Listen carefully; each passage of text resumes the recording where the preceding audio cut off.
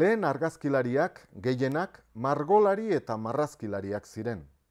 Haien iritziz, argazki kamera, kamera ilun garatua zen. Objektuak euren perspektiba zehatzean ateratzeko aukera ematen ziena. Garai hartako bodegoi eta natura hilen argazkiak horren froga argia dira. Mila sortzieun eta berrogei garren urtean, paperezko bikoizketak egitea aski zabalduta zegoen. Horrek argazkilariari irudiak eraldatzeko abagunea eskaintzen zion. Horrela hasi ziren argazkilaritzak artearekiko duen erlazioa garatzen. Mila eta bederatzieun garren urtetik aurrera, argazkilaritza artistikoa izenekoa garatu zen.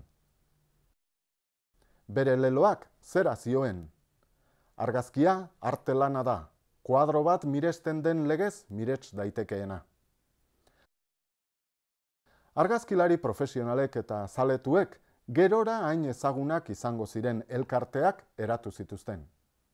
Argazkilaritzak denen onarpena lortu zuen adierazpide plastiko gisa. Bere historia laburrean, argazkilaritzaren estiloak naiz kontzeptuak aldatuz joan dira. Gizartea bera aldatuz joan den neurri eta erritmo berean.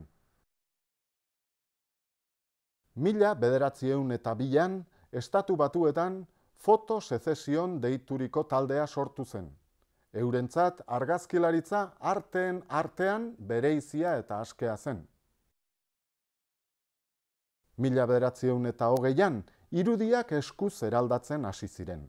Lan honetan hasi ziren lehenengoak, Moholin Nagi, Ungariakoa, eta Man Rai, Amerikako estatu batuetakoa izan ziren.